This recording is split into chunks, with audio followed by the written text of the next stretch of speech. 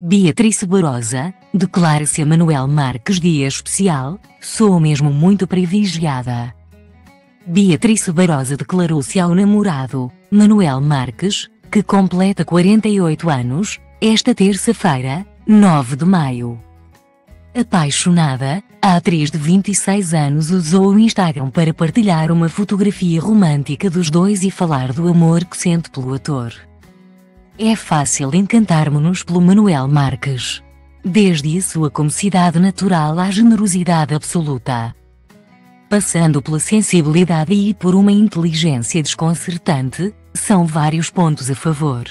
Imaginem agora que tenho a sorte de partilhar a vida com ele. Ok.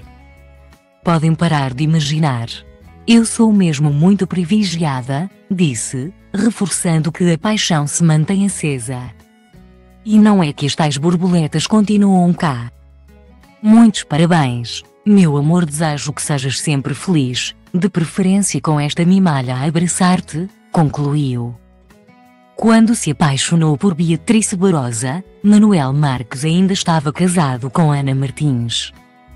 Apesar de ter assumido que essa situação lhe trouxe alguns receios, Beatriz Barosa garante que estava de consciência tranquila por só se terem envolvido depois do ator ter colocado um ponto final no casamento. Tinha consciência tranquila porque as coisas estavam a ser feitas corretamente e respeitando ao máximo toda a envolvência que existe, filhas e tudo isso.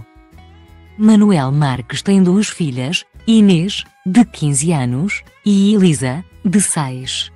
A atriz falou do seu papel como madrasta e revelou que os dois vivem em casas separadas. Correu tudo muito naturalmente. Elas também são muito queridas e receberam-me muito bem. A verdade é que eu mantenho a minha casa e uma nela dele, então há esse espaço, afirmou. Na entrevista, Beatriz Barosa partilhou que desde criança que quer ser mãe, mas que a maternidade vai continuar adiada durante alguns anos. Eu penso em ser mãe, mas não para já. Quero esperar mais um tempo, reforçou.